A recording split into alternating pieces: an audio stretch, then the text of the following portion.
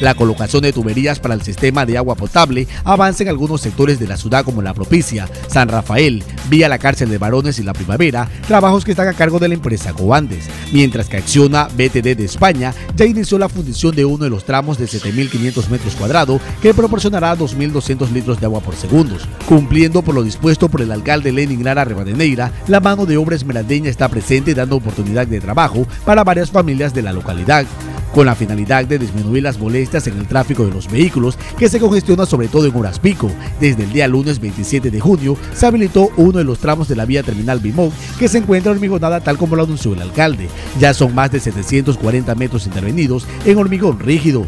Alcaldía de Esmeraldas demostrando su apoyo a la gestión que el alcalde Lenin Lara Rebadeneira está desarrollando para transformar Esmeraldas, un grupo de moradores de los barrios del sur de la ciudad y que forman parte de la compañía Sur Limpio. Durante la semana pasada emprendieron trabajos de limpieza en la vía que nos conduce hasta uno de los balnearios turísticos de la provincia de Esmeraldas. La acumulación de sedimento, aguas estancadas y maleza que impedían la visibilidad de los conductores, todo fue limpiado con el objetivo de mantener una ciudad limpia y expedita de residuos. Alcaldía de Esmeraldas. Frente a los daños registrados en el municipio de Esmeraldas luego del terremoto del pasado 16 de abril, la estructura municipal ubicada en las calles Bolívar y 9 de octubre no facilitaba las condiciones necesarias de seguridad para que el personal labore al interior de ella. Por decisión del alcalde Lara, se determinó la remodelación y adecuación del conservatorio municipal, donde atenderá a la ciudadanía esmeraldeña durante los próximos meses. Alcaldía de Esmeraldas. Con la entrega de certificados de participación a más de 100 directores de escuelas del Distrito de Educación del Cantón Esmeraldas, culminó el seminario taller sobre desastres de tsunamis, talleres organizados por el municipio del Cantón Esmeraldas a través de la Dirección de Riesgo Municipal.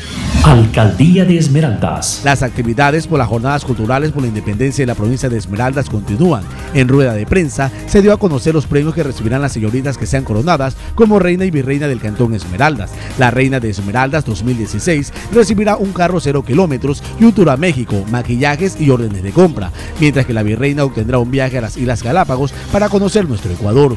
Alcaldía de Esmeraldas. Como cada viernes, el alcalde participa del programa denominado La Alcaldía al Mundo. En el programa, el alcalde anunció el avance de las obras que se ejecutan en la ciudad, que cada día se transforma para tener una esmeralda ciudad al mundo. La intervención de nuestros amigos televidentes y oyentes a través de las diferentes emisoras de la localidad es importante que los esmeraldeños seamos partícipes y testigos de la transformación que vive Esmeraldas.